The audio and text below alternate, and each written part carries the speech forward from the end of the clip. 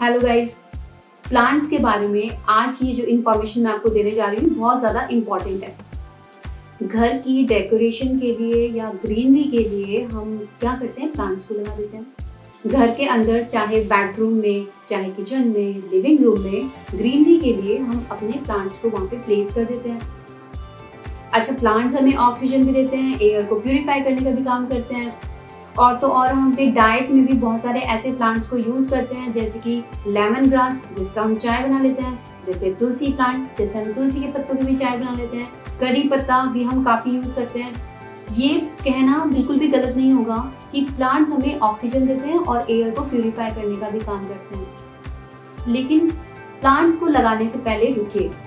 कुछ ऐसे भी प्लांट्स हैं जो आपकी फैमिली की हेल्थ को, आपकी हेल्थ को, यहाँ तक कि आपके पेट की हेल्थ को भी नुकसान पहुँचा सकते हैं। तो चलिए मैं बताती हूँ आपको वो कौन कौन सी प्लांट्स हैं जो अपनी टॉक्सिटी के लिए, अपनी पॉइजनस नेचर के लिए फ़ेमस है? फिलोडेंड्रन फिलोडेंड्रन के जितने भी प्लांट्स हैं, जो इस फैमिली से बिलोंग करते हैं, वो सारे के सारे फ़ेमस हैं अपनी टॉक्सिटी के लिए।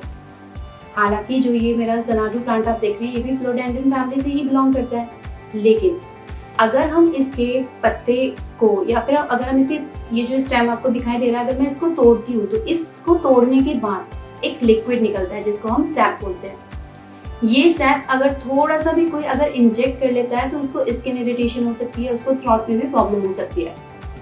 तो हमेशा ध्यान रखिए कि फ्लोडेंड्रन फैमिली के जितने भी प्लांट्स हैं, उनको आप अपने बच्चों से और अपने पेट से थोड़ा दूर ही प्लेस करें।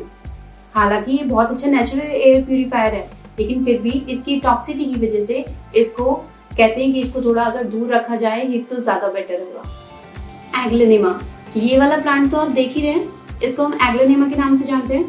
एग्लोनेमा या फिर लिपस्टिक एग्लोनेमा या फिर चाइनीज़ एवरग्रीन ये ऐसे प्लांट्स हैं जिनके पत्तों के ऊपर कैल्शियम ऑक्सोलेट करके कंपाउंड पाया जाता है, जो कि बहुत ज़्यादा पॉइजनस होता है। तो हमेशा एक चीज़ ध्यान रखिए, जब भी आप इसके पत्तों को वाइट करें, साफ़ करें तो हमेशा या तो ग्लव्स का यूज़ करें, या फिर अपने हैंड वॉश कर लें। इसको वाटरिंग करने के बाद या फिर इसके पत्तों को टच करने के बाद। ये भी बहुत ज़्यादा पॉइजनस प्लांट है। डिफिन बाकिया यानी कि डमकिन जो डमक्लेन प्लांट है, ये प्लांट बहुत ज़्यादा पॉइजनस प्लांट है। इसके एक छोटे से सैप से या इसके एक छोटे से पत्ते को भी अगर हम थोड़ा सा भी अपने माउथ में इंजेक्ट कर लेते हैं तो ये इतना ज़्यादा पॉइजनस है कि ये किसी भी ह्यूमन को या किसी भी पेट को किल भी कर सकता है। तो हमेशा एक चीज़ ध्यान रखिए कि जब भी आप अपना डम केन अपने यहाँ पे लेके आते हैं तो उसको ऐसी जगह प्लेस करें कि आपके बच्चे या फिर जो आपके पेट्स हैं, उनसे थोड़ा दूर प्लेस कीजिए, जिससे उनकी लाइफ सेफ़ हो सकती है। डम केन बहुत ज़्यादा ब्यूटीफुल लगता है देखने में। इसके जो डबल शेडेड के जो पैटर्न्स देखने के लिए मिलते हैं, वो बहुत ज़्यादा प्यारे लगते हैं। और एक तरीके से अगर जब हम इसको अपने घर में लेके आते हैं, और जब इसकी धीरे धीरे ग्रोथ होनी स्टार्ट होती है, इसके पत्ते जब साइज़ में भी ओवर साइज़ हो जाते हैं। वो देख के इतना प्यारा लगता है, लेकिन इसी के साथ साथ ये बहुत ज़्यादा पॉइजनस प्लांट भी है। एरोहेड प्लांट जिसको हम गूस फीट या फिर एरोहेड वाइन के नाम से या फिर हम इसको सिंगोनियम के नाम से भी जानते हैं। सिंगोनियम के जो पत्ते हैं, उसमें जो पैटर्न्स आपको दिखाई दे रहे हैं। ये पैटर्न्स देख के ही बहुत सारे लोग इसको खरीद लेते हैं, क्योंकि ये देखने में बहुत प्यारा प्लांट लगता है। बट अनफॉर्चुनेटली ये भी बहुत ज़्यादा टॉक्सिटी के लिए फ़ेमस है।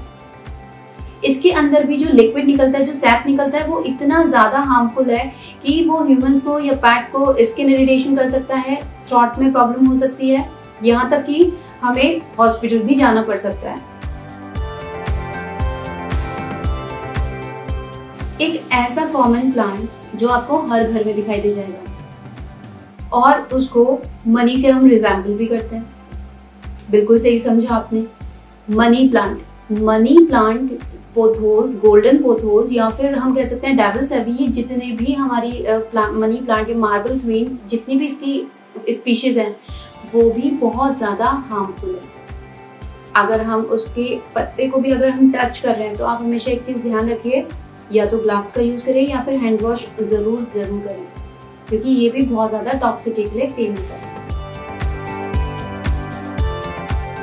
क्या आप जानते हैं NASA recommended plant snake plant sansevieria जिसको हम जानते हैं? मदर इन लॉस टंग भी इसको बोलते हैं। इसके अंदर जितने भी आप इसको देख रहे हैं, जैसे छोटे छोटे छोटे छोटे, ये आपको देख रहे हैं, बढ़ते चले जा रहे हैं, जो स्नेक प्लांट के छोटे छोटे बेबीज निकले हुए हैं। जैसे ही अगर हम इनको रूट से, जब भी हम इनकी रिपोर्टिंग करते हैं तो आप हमेशा एक चीज़ ध्यान रखिए रिपोर्टिंग करते वक्त अगर छोटा सा भी सैप या लिक्विड अगर आपके हाथ में टच भी हो गया है तो हमेशा एक चीज़ ध्यान रखिए, बहुत अच्छे से उसको क्लीन कीजिए। तो इन प्लांट्स को आप ज़रूर लगाएँ, लेकिन बहुत ज़्यादा प्रिकॉशंस के साथ। इंटरेस्टिंग इन्फॉर्मेशन के लिए मेरे चैनल को जल्दी से सब्सक्राइब कीजिए और बेल आइकन को प्रेस करना बिल्कुल भी ना भूलें, जिससे आने वाले मेरे नए वीडियोस का नोटिफिकेशन आपके पास पहुँच जाएगा। स्टे ट्यून विद गार्डन गपशप